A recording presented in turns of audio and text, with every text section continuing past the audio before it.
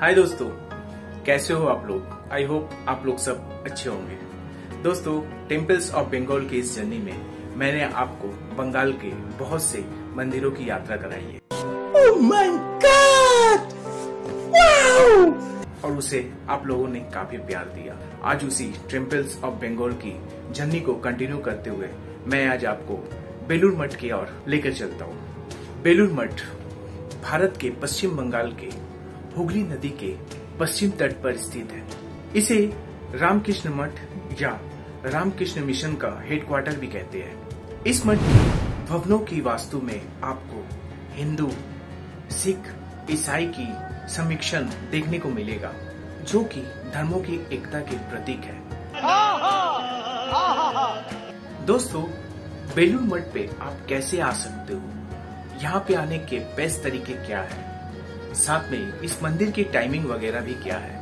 और दोस्तों, यहाँ पे भोग प्रसाद की भी व्यवस्था है। ऐसे बहुत सारी महत्वपूर्ण जानकारी है जो मैं आपको इस वीडियो में दूँगा। तो आप लोगों से रिक्वेस्ट है प्लीज़ वीडियो को लाइक करते हुए चैनल को सब्सक्राइब कर दे और एक प्यारा सा कमेंट करना ना भूलें। तो चलिए दोस्तों, इसी के साथ वीडियो को स्टार्ट करते हैं। हाँ दोस्तों, वीडियो स्टार्ट करने से पहले अगर आप लोग इस वीडियो के माध्यम से मेरे साथ पहली बार जुड़े हैं तो मैं मनोज आपको आपका अपना यूट्यूब चैनल मनोज जिला ब्लॉग्स में तहे दिल से स्वागत करता हूँ। तो चलिए वीडियो को स्टार्ट किया जाए।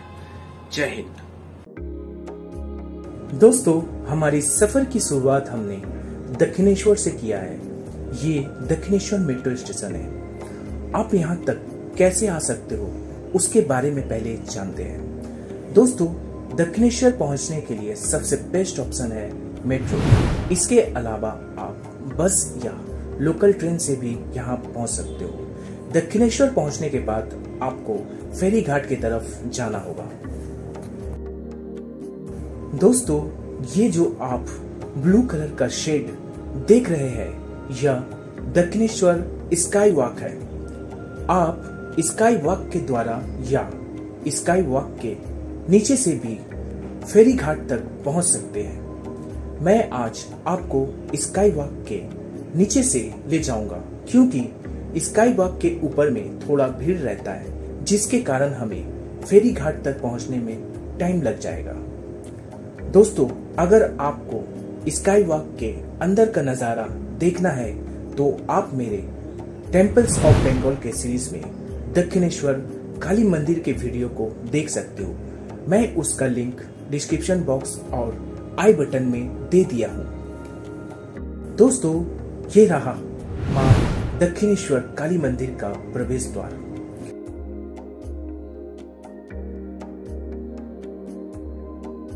ठीक मंदिर के प्रवेश द्वार के बगल से ये जो रास्ता गया है, इसी रास्ते से आपको आगे चलते हुए फेरी घाट मिलेगा, जहाँ से हमें फेरी लेकर गंगा के उस पार बेलूर जाना होगा और फिर वहाँ से बेलूर में।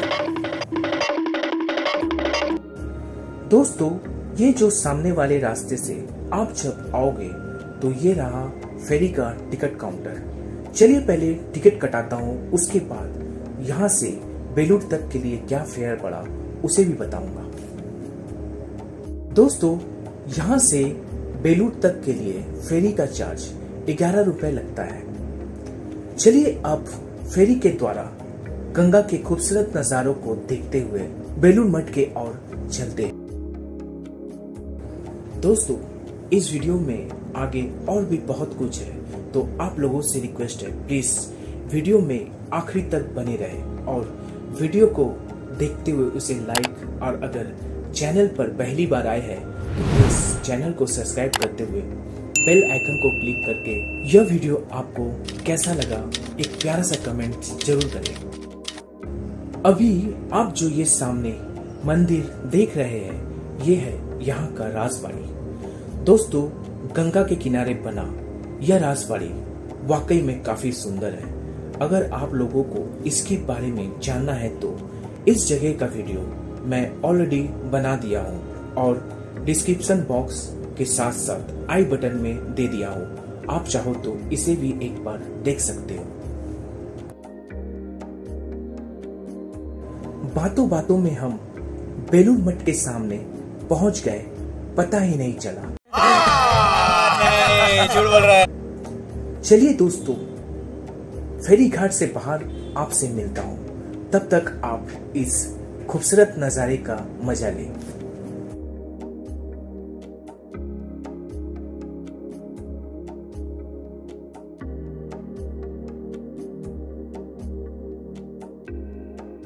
फेरी घाट से निकलकर आपको इसी रास्ते से आगे जाना होगा। तो चलिए, बेलूर मठ के गेट की ओर। दोस्तों टाइमिंग की बात की जाए तो अगस्त से सितंबर सुबह साढ़े छह बजे से दिन के साढ़े ग्यारह बजे और फिर शाम को चार बजे से रात के नौ बजे तक खुला रहता है। वहीं अक्टूबर से मार्च तक सुबह साढ़े छह बजे से दिन के साढ़े ग्यारह बजे तक और फिर शाम को चार बजे से साढ़े आठ बजे तक खुला रहता है। बेलूर मठ में दर्शनीय स्थल इस लिस्ट के द्वारा आप देख सकते हो। साथ में इस मैप के द्वारा कौन सा प्लेस कहाँ पर है, इसके बारे में भी जान सकते हो। इससे आपको बेलूर मठ घूमने में काफ़ी आसानी होगी। तो चलिए अब आपको बेलूर मठ की यात्रा कराता हूँ। मेन गेट से आप जब आगे की ओर आते हो तो ठीक आपके बाई तरफ़ अवेदना कन्वेंशन सेंटर है।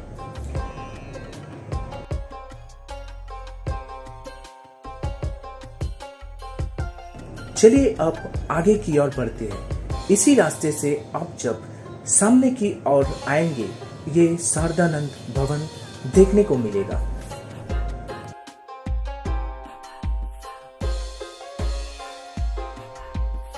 उसी रास्ते से आप जब आगे की ओर आते हो तो आपके बाई तरफ़ रामकृष्ण म्यूज़ियम भी देख सकते हैं। यहाँ पर मोबाइल कैमरा अलाउ नहीं है। इसके कारण मैं वीडियो नहीं बना पाया। चलिए आपको बाहर से जितना हो सके दिखाता हूँ।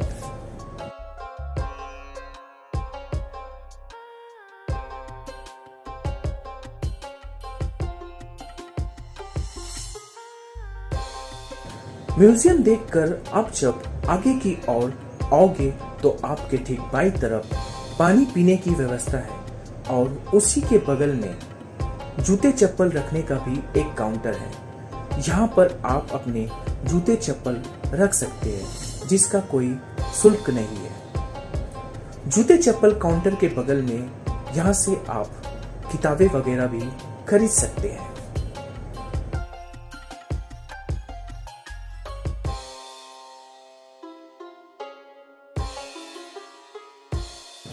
ये रहा बेलूर मठ का मेन मंदिर, श्री रामकृष्ण मंदिर। मंदिर की बनावट को आप देख सकते हो।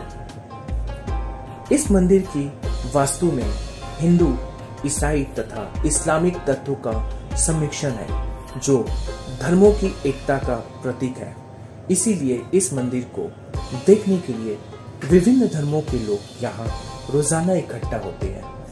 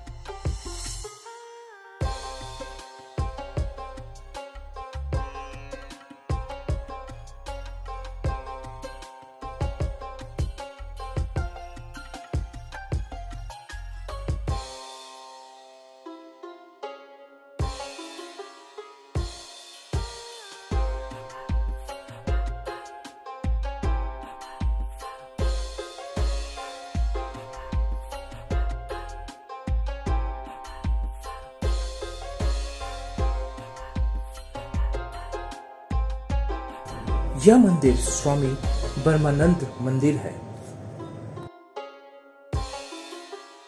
यह मंदिर सीमा शारदा देवी मंदिर है।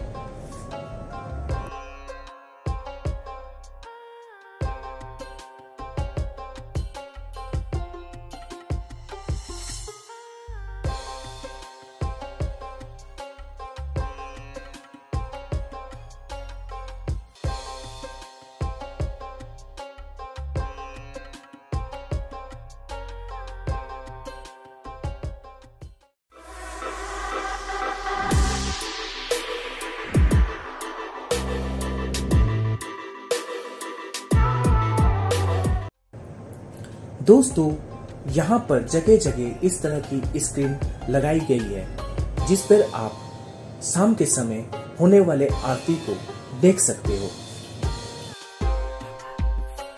जब तक आप आरती देख रहे हैं, चलिए जान लेते हैं यहाँ पर भोग प्रसाद की क्या व्यवस्था है। दोस्तों, भोग प्रसाद की बात की जाए तो सुबह साढ़े दस बजे के अंदर आपको ऑफ़िस काउंटर में कूपन कलेक्ट कर लेना होगा और भोग प्रसाद का कोई चार्ज नहीं लगता। आप अपनी इच्छा अनुसार सेवा के तौर पर कुछ पैसे दान कर सकते हैं। आशा करता हूँ मैंने आपको इस वीडियो में जो जानकारी दी, आप उससे संतुष्ट हो। अगर आपको मेरा यह काम जरा से भी पसंद आया है तो आपको पता है आपको क्या करना है। प्लीज़ वीडियो को लाइक करते हुए चैनल के नाम के बगल में ये जो ब्लैक कलर का सब्सक्राइब बटन है, उसे दबा दें। साथ साथ बेल आइकन को भी क्लिक कर दें, ताकि मैं जब भी कोई नया वीडियो अपलोड करूँ, उसका नोटिफिकेशन आप तक सबसे पहले पहुँचे। उसके साथ एक प्यारा सा कमेंट करना ना भूलें। इसी के साथ इस वीडियो को मैं यहाँ पे समाप्त करता हूँ। अच्छा दोस्तों, बहुत जल्द मिलता हूँ एक नई वीडियो के साथ। तब तक के लिए अलविदा। जय हिंद।